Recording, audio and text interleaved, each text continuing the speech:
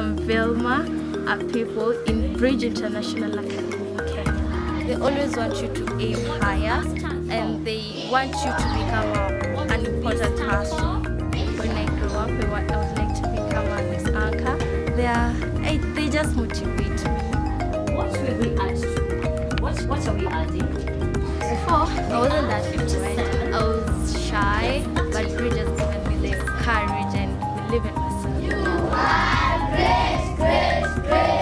When they teach, you get to learn. Now if the teacher learns, they just use the to teach us and uh, they explain more than the textbooks which we use. They always